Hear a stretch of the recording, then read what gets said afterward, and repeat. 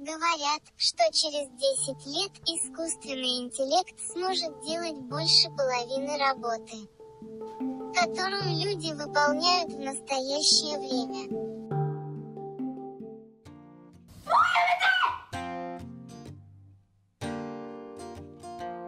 娘の学費のことを考えると頭が痛いでもお金のことでこの子の未来を諦めたくないオフィスの 窓から。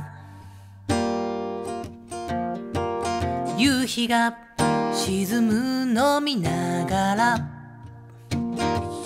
サクセスストーリーはいらねえんだ。時計を気にしてる。まだ仕事はオーバー